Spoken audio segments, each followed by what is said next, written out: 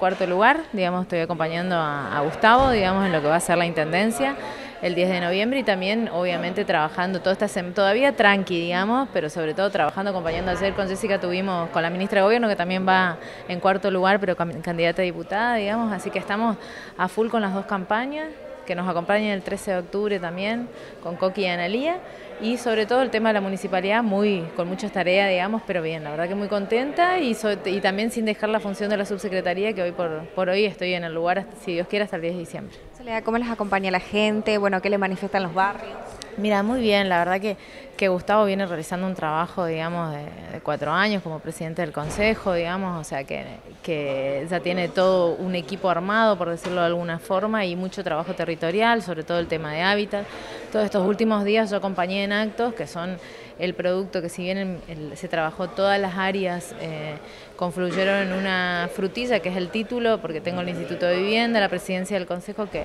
que eh, cuando hacían las reuniones de hábitat, solicitaban, entre otras cosas, el tema de los títulos. Y como de la subsecretaría depende de RPI Catastro, así que fue un trabajo en conjunto y estamos acompañando, en este caso también a Gustavo.